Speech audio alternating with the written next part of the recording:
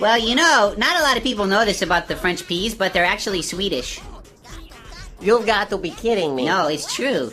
You talk to them off the set, and Yeah? uh, you know they've they've got Swedish accents. So the whole accent thing, it's a it's, It's all a put on. It's a sham. That's right. It's a fake. That's right. Well, if you notice, they're not really all that authentically French. Their accents are a little bit off. What are you talking about? Next thing you're going to critique my accent.